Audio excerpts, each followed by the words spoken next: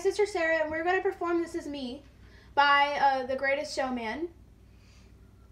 Um, we've been doing it for our um, we've been doing it for our um, ensemble in Youth Music Academy, and um, it's a really good song. And we've been doing it with a very good friend of ours, Katie. But right now it's just the two of us. So, oh yeah, we're gonna, yeah. It's like, um, I mean, you know, we have O and M, and we're like, hey, we're not gonna be scared all the time, and that's what it taught us. And we're like, hey, independence rocks. It does, and here we go.